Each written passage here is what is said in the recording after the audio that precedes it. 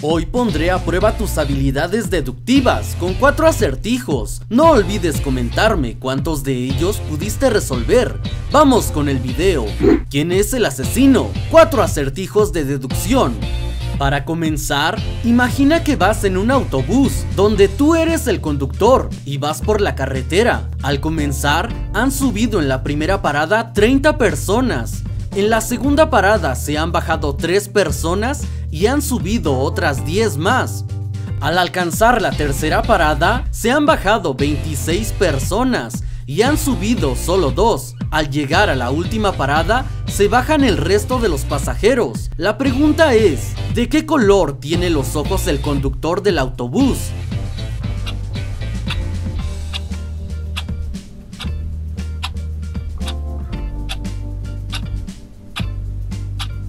Si pudiste hacer todos los cálculos pero aún no puedes responder la pregunta, puedes repetir el video para encontrar la respuesta, o mejor yo te la diré. Recuerda que el acertijo dice que tú eres el conductor, entonces, ¿cuál es el color de tus ojos?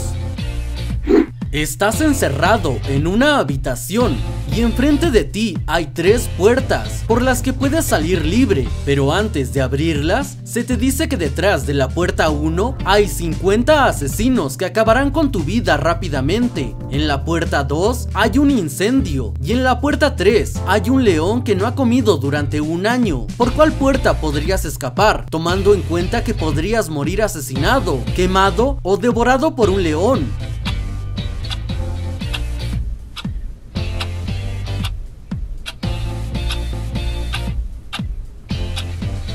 Parece que ninguna puerta es segura para salir, pero si analizamos el acertijo, veremos que en la tercera puerta hay un león que no ha comido durante un año, por lo cual estaría muerto y podría salir libre sin ningún problema.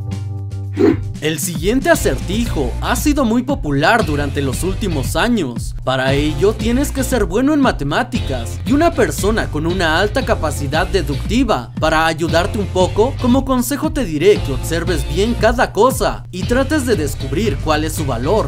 Ahora dime, ¿cuál es el resultado de la última columna?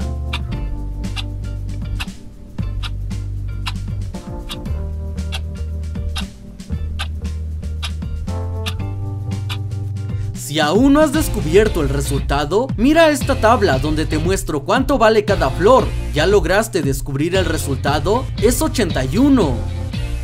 Y por último, ¿puedes deducir quién es el asesino en este acertijo? La señora Buenafortuna ha sido asesinada el pasado martes, entre las 20 y las 22 horas. Estos son los sospechosos. Juan Bagancio, su sobrino de 25 años que ha terminado la carrera y no encuentra trabajo. Hasta el momento vivía del dinero de su tía y es el único heredero. El doctor Matasanos, quien era su médico desde hace 25 años, mantuvo un romance con la señora Buenafortuna hace algún tiempo. Su abogado, el señor Listillo, también se encargaba de llevar sus negocios. Y la señorita Angustias de la Pena, la secretaria era muy querida por la señora Buenafortuna, es la novia de Juan Bagancio. Desde hace unos meses se llevan muy mal. La señorita Angustias estaba pasando además por una época de depresión, debido a que hacía dos semanas que había muerto su mejor amiga, Dolores Luto. Ahora te mostraré sus coartadas y podrás deducir quién es el asesino. Juan dijo a la policía que estaba en una entrevista de trabajo en la empresa de transportes marítimos Pez Gordo cuando su tía murió el doctor Matasanos dijo que estaba en el hospital operando a una paciente. El señor Listillo dijo que había estado cenando con su prima Dolores Luto en el restaurante Cómetelo Todo. Y la señorita Angustias de la Pena había estado de viaje 15 días en Túnez. Mandó desde Túnez un telegrama de pésame al sobrino. Veamos tus habilidades deductivas. ¿Puedes deducir quién fue el asesino?